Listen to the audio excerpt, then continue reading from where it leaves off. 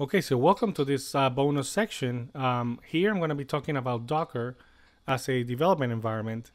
And um, uh, the way that we've done it uh, so far in this course, it's been we've been using this Cloud9 environment, which is kind of like a it's it's it uses Docker actually, but it's kind of like our development environment on the on the cloud. But um, there's um, there's also a new technology called Docker that allows you to um, basically develop uh, applications using a very self-contained model um, within your your like your laptop or your computer. And the way um, you know the big thing about this is that you can be assured that if it runs in your computer locally, it will run on the um, on the target environment where you're going to run it, either you know,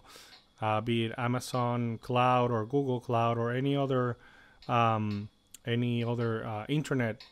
um, service provider where you're going to run this application as long as the um, the operating system on your container and that place where you're going to run this application uh, matches. And Docker allows you to align those two very well so that um, you have the, the guarantee that, um, that your application is going to run. So I've decided to make this section because um, there's a lot of uh, of uh, interest in the in the market right now, and uh, a lot of developers and a lot of companies are starting to use Docker because it it um, it makes a guarantee that applications are going to run and uh, these applications are like little boxes so you can um, deploy uh, you know hundreds of them um, using using this technology so let's take a look at how uh, Docker works. And in, in the website itself, there's a, a pretty good explanation. So basically, um, these are the containers I'm, you know, talking to you about. Like, they're like um, imagine little boxes that live in, in your computer. And um, um, normally, when you want to run like uh, applications within your laptop that have a, let's say you want to uh, build on on Linux uh, or a specific Linux um, operating system version, for example, Debian or uh, Red Hat, normally what you do is that you have a kind of like you have your laptop and a you know host operating system, which is whatever the laptop runs, like Windows or Mac OS, and then you have some sort of like hypervisor, which is kind of like a layers for you to be able to run that Linux uh, flavor inside your machine. And this this a lot of times it's kind of like, you know, VirtualBox or uh, some other uh, you know parallels um, for for Mac. Um, and then you have your kind of like basically your applications and your libraries on top of that.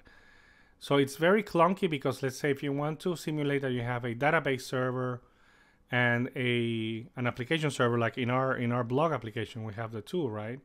so what would happen is we would have to be uh, kind of running, um, you know, that Linux um, operating system on on the VirtualBox,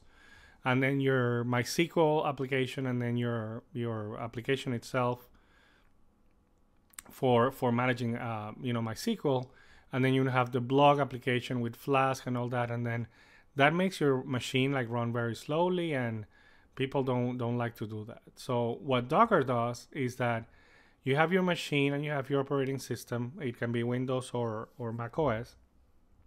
And then you have this Docker engine. And the Docker engine is kind of like a, a, um, a, a, a layer of abstraction for the operating system that then allows you to run many applications uh, as if they were like boxes, like actual,